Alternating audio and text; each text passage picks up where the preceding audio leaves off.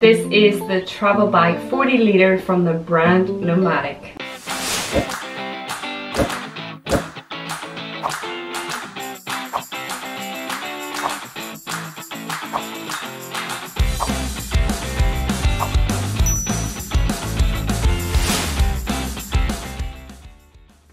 If you've had a wee look over on my YouTube channel, I have reviewed the Nomatic 15 litre Navigator Lite backpack and I just wanted to kind of reiterate what I spoke about over on that review with regards to the whole Nomatic and Gomatic. So basically Nomatic and Gomatic are the same thing but due to like trading depending on where you are in the world uh, you'll have to order from Gomatic and some people have to order from Nomatic. So that's just something to note. I will leave links in the description for both. This backpack is priced at $289. It does weigh about 3.4 pounds, which is roughly about 1.5 kg. It's not overly lightweight in regards to a travel backpack. If that's something that you were aiming on using this bag for, then maybe you would want a lighter bag, uh, especially if you're carrying it for long periods of time. So this backpack only comes in the color black, which is grand for me, but I can see why some people might want, you know, a bit of variety. But I find that with the black backpacks, it is easier to kind of clean. It does come in the 30 litre. If you head over to the links in the description, it'll be the same for Gomatic. It's part of like a collection, so you can kind of decide whether or not this backpack is right for you or whether you prefer maybe a different style. I know that Nomatic and Gomatic themselves are great in terms of a long-lasting backpack. So the outer dimensions of the backpack are 9 by 21 by 24 inches. And then the large opening dimensions are 19 by 20 inches. What is great, I know for the price, $289 roughly, depending on your own currency as well, you might get a wee bargain, but included in the price are the hip belts which I'll get into further in this video but that is attachable detachable as well. You get that included and you also get the laundry bag as well. The backpack is made up of water resistant tarpaulin material composed of 90% polyester and 10% nylon. The zippers are standard YKK zippers. The bike is also vegan, made with 100% synthetic materials. It's not a personal item backpack, so you wouldn't be able to fit it in the seat in front of you uh, on a flight. I was debating between this and the Tropical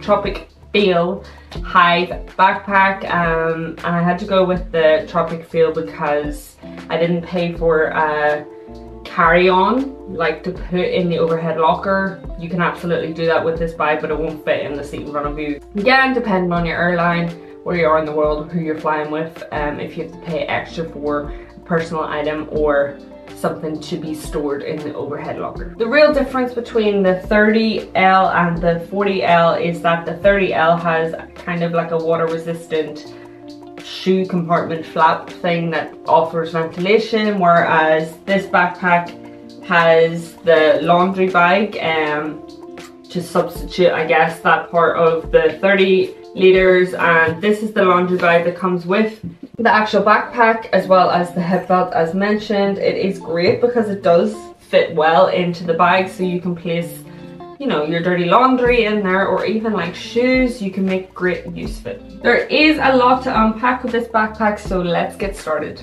It does hold its shape, like packed or unpacked, um, which is nice. It has this sleek kind of material. It is jet black, so when I first looked at it, I couldn't see all the features within the bag, which was kind of great in terms of like that anti-theft side of things but there is quite a lot of features which can be a pro and can be a con depending on your preference. It is a duffel backpack so it can be transformed to your preference. You can have it in the briefcase kind of style mode where basically this all closes up and you are left with the handles that kind of be torn in and then these straps come in together and it kind of activates like this. I There's no reason for me to activate it like that and I haven't if I'm being completely honest. Um, I have been wearing it as a backpack, find it more comfortable. It is great though to have, like so that you can maneuver it about, so that feature's there if you want it. They say that you can pack this up to about three to seven days. Um, you could definitely use this as your main travel backpack if you were traveling further around the world a couple of months. You would just have to be smart with your packing um, because if you're like myself who likes to overpack then you're not going to get away with that. Obviously if you are you know, traveling a bit further around the world and you are limited in your packing, then you can definitely fit a lot into this backpack. When I was traveling back in, um, when was it? I don't even, couldn't even tell you the date, but it was a while ago. And I had a backpack that was more in length than it was in width. I really probably would have preferred something like this um, because this whole new like clamshell opening style is quite new to me. Whereas I was used to you know, like the top loading. So you would literally have to fire all your stuff out while you're in like a hostel and go and dig for your clothes whereas this is perfect because you open it up and then all your belongings are there which is nice in terms of keeping it um, well intact and organized. So throughout the bag, more so here on the bottom and the front. So this is the front of the bag. Yes, it does hold a shape, but it is quite crinkly looking. I do like this ballistic nylon throughout the bag. I feel like it adds just a bit of differentiation in throughout the bag because it is so jet black that it just kind of separates the two colors. So throughout the bags you do have lovely zips. It is PU coating around the zips which is great and stopping anything from seeping in. I know we said that they were YKK zippers but I don't feel like they are. So someone's lying and it's probably me. Whatever they are, they're doing the job. So can't complain. Cleaning this bag is quite simple. It is that water resistant texture material. So it's great in terms of just wiping down the bag and especially like if you want to use this as a gym bag, you absolutely can. if you have chalk or anything like that, it will just wipe off easily. They recommend that you use like a damp cloth should there be further like indent stains, then maybe a bit of soap, but let it dry naturally. Don't be shoving this in the aisle washing machine. This is that seatbelt material too. I think this is the bottom of the bag, so you don't really see it, but there is a handle here. And so you have that handle that transforms it into duffel pack mode and then you have this one now this is definitely more rigid thicker uh, intense. There is no like softness to it. There is underneath, but at the top here it's just like that, that strong, hard material. But in terms of, you know, if you want to hang it up or you're in a wee hostel, you're like thinking, oh, that's a good wee idea here. You can just hang it up from that. And again, with all the handles, you can maneuver it. There is options and ways, especially if you're traveling with the bag, then it's perfect for that. So the top of the backpack, let's start there hopefully you can see. So you've got this one here, they're all top grabbing, they're all horizontal zips. This wee pocket um, runs deep and inside is again like this tent coated material so it's very water resistant. Anything that's in there spilled you can just fling out the water if you want. And that runs deep enough so pack what you want in there and then the one in front of it is also top loading um, and then you do have this access material from the first pocket but brand gives it that character travel character and this is a great pocket. Um, slightly different material from the other but a lot of space so you have room here if you want to. Now here's the thing. Is it this one or this one? One of them they use for a water bottle, I'm assuming it's this one. Uh, they put their water bottle compartment at the top.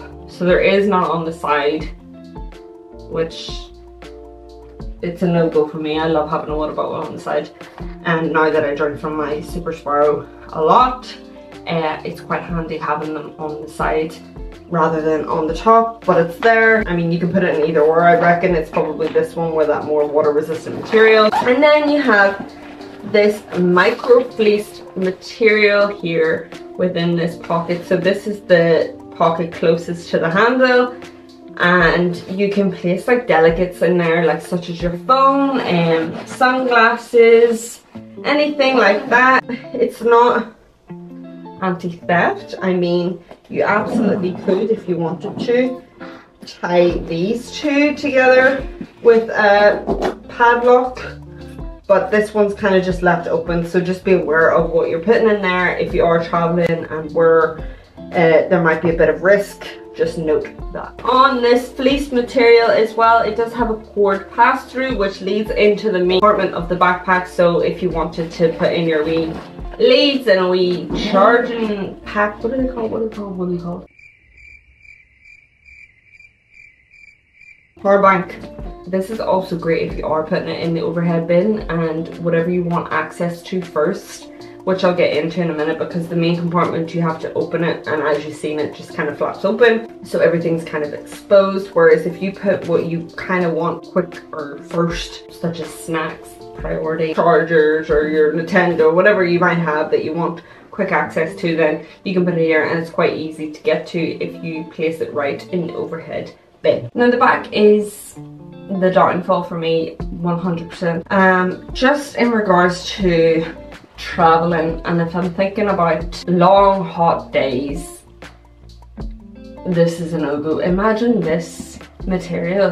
It's not leather but it's like that leather like sticky yucky material and on a hot day if that was to leather to your back you you would definitely notice and there is no like airflow there's no panels there's no back support there isn't anything like that that would make it great for those long hours. Like I'm thinking about Thailand or, you know, going through Bangkok and the sweat is lashing off you. You don't want a backpack like this. Yes, it's all gonna run down, but you are gonna be so sweaty. I can see why, because this is your main entrance to all your belongings in there. Um, maybe they didn't want to make it too heavy. I don't really know. There is the kind of air ventilation and padding on the shoulders here, which is grand. They're very rigid. It's not overly comfortable like it's grand. I don't really like this whole gap here. Because again if you think about it having it on your skin that's going to irritate me the fact that there is that that the padding doesn't like run to the actual freaking start or finish of the bag. So you're left with this gap that's going to rub onto you. Um, when you have like jumpers and stuff on you don't even notice it. So I mean 90% of my life is in cold weather but if there was that 10% and I was wearing this out in a hot day, um, this would definitely irritate me. For the price, like the whole back system, straps, it's just like, there could have been, there could have been more done, but it also is grand depending on the environment that you want to be using it. So for me, day-to-day -day life in the colder weather that I'm in, absolutely grand. Do you know what I would have loved to sing, you know, the way was it Tortuga's travel backpack where, and quite frankly, most of them, if they're a, um, a good enough uh, backpack that for support and things like that, I guess if you don't have the support in the back then there's no point even doing this, but basically having those straps that you can pull in at the top as well as pulling down. Then you have this uh, adjustable, movable sternum strap. Again, quite like the 15 litre Navigator Lite. Just overall Nomatic, I feel like for the price you need to kind of up your, your hardware here. I love like all this. This is like, oh premium, but then you get to this and this is like plastic. These are great. These are attached by this um, gatekeeper kind of lock, which goes around the end of the bag and it sits nicely. Just in terms of the overall Nomatic style, I think for the price range they could have just upped the hardware of the bag. Feel like they could have done a lot more with that. I would recommend then because of the lack of padding on the back of the bag to get your support when this backpack is fully packed you would probably need to wear the hip belt and the sternum strap. I would definitely recommend that just to distribute that weight especially when you're not getting any sort of padding on that back. So moving on to the inside of the bag, I'm sure you have seen that it just kind of opens. So opens, Nomatic do their own packing cubes, which would be great. You could fit a lot in here. Um, again, with the material, there is a lot going on. Um, So just bear that in mind, but there is plenty of space for you to pack up. I reckon you could get quite a lot in there in terms of packing cubes. If you use packing cubes then you're golden. Then you do here have your laptop compartment. It is that micro fleece material which is great. It fits up to about a 16 inch and they reference like a MacBook. My 11 inch fits perfectly in there and it's held on by some el electric velcro material which isn't that great. I mean it's not that sticky. Uh, in front of it is the kind of compartment for added tech accessories if you want to put like a tablet or books or anything that you really want in there. It is there. It's not overly padded. I would hope for more padding here if there is lack of it on the back. So just be aware of that. Your drop kind of base of this bag is sort of supported but it's not cushioned and um, so when you are placing this bike down i would definitely be aware of that lack of cushion at the bottom of the bag now for the final features of the bag, we have, oh look at that. Here's me saying it holds a chip, look at it. Have this pass through for your luggage, right? It's just, it's just not right. But love this tech accessory pocket. So it kind of opens up like your wee laptop compartment in front of a suitcase. Um, it sits nicely, it doesn't flap down, so it's just opened and then you have all these wee additional pockets. You have the RFID safe pockets so you can place in your IDs. Um, so none of that can be scanned, which is great. And then you have another pocket here which runs down deep enough. And then you have a couple of mesh pockets and well as those micro fleece pockets. So any delicates and things like that you can place in there. It's got a lot but it's not overwhelmed. I like this about this bag. Um, I feel like it's neatly done. It's not messy in its organization and it's just placed well together and it brings life to the bag. I feel that it sets the bag apart and it is a great additional feature. And then on to the other side you have two pockets. This one runs longer than this one. This is the smaller one. Um, it's just emptiness. There is no organization in there. It's just space for whatever you might want to throw in there last minute or if you are well organized then I'm sure you'll find something to place in these lovely new pockets. It is a clean, sleek, minimalist backpack. Um, I would have loved to have seen it more adventure style but I feel like it probably would have got lost in all the added material that is just flinging about on the bike but I would have loved to maybe have like some sort of external thing maybe here maybe to place your tripod or a water bottle or I don't know my hat my headphones something where I can externally place something that I feel like would have went well with this bag but hey ho it doesn't have that sort of momentum. I do think it is a great backpack for different environments depending on what you want to use it for so for the hotter weathers, it's just not great for air ventilation. It is that sticky material, you are going to sweat, so you kind of have to be aware of whether you want this type of backpack for those adventures. If it's for like the colder weather, then absolutely. This is a great backpack because it has lots of different features.